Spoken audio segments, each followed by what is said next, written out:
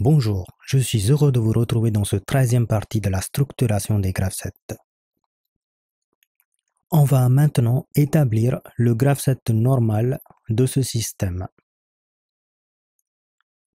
Bon, c'est ce que je pourrais vous conseiller, c'est de recopier ce synoptique ou alors vous appuyez sur la touche imprimer écran et vous l'imprimez. Comme ça, ça vous permet d'avoir le synoptique sous les yeux. Alors, au départ, je suis à l'étape 0. Je mets en route le système. Qu'est-ce que je vais pouvoir bien marquer dans la première transition? Le bouton départ cycle. Ça, c'est sûr. Et il faut surtout que le système soit à sa position initiale. C'est-à-dire, il faut que ce curseur soit au capteur IZ, c'est ce qui permet de détecter que le bascule est vide, et il faut que le malaxeur soit au capteur P0. Si ces deux conditions sont réunies, bascule vide et malaxeur au capteur P0 et que j'appuie sur départ cycle, je démarre le système. Ensuite, on avait dit qu'on faisait deux actions en même temps, le dosage et l'amenage des briquettes. Donc, je vais avoir une divergence en E. Pour faire le dosage, à l'étape 1, je vais ouvrir la vanne VA jusqu'à ce que le curseur monte au capteur A.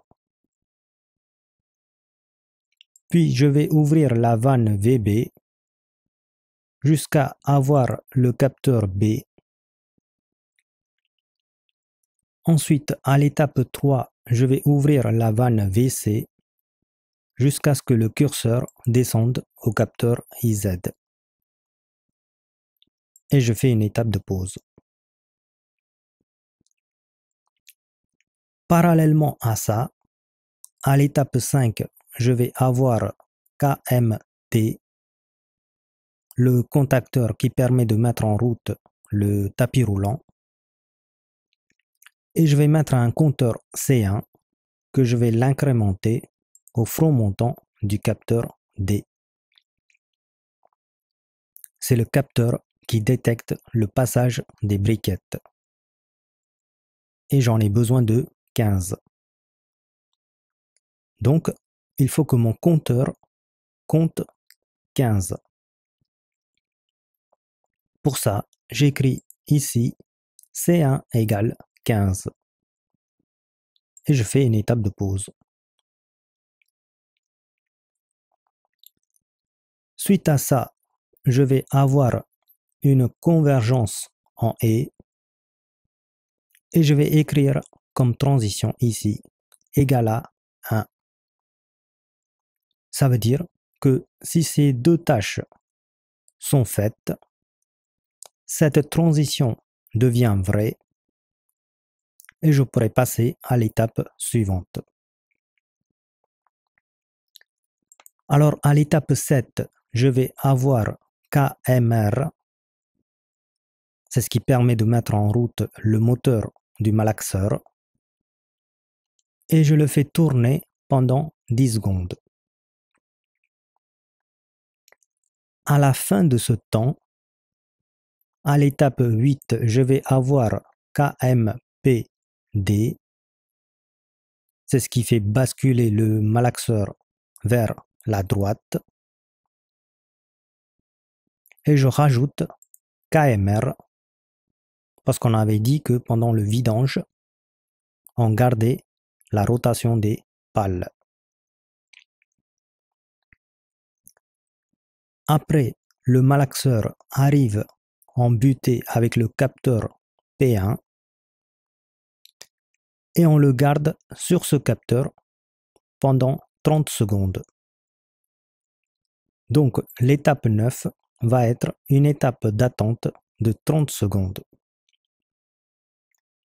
Et il ne faut pas oublier de rajouter le KMR pour avoir la rotation des pales parce qu'on est en train de vider. À la fin des 30 secondes, je vais avoir KMPG. C'est ce qui permet de faire basculer le malaxeur vers la gauche jusqu'à ce qu'il arrive en butée avec le capteur P0.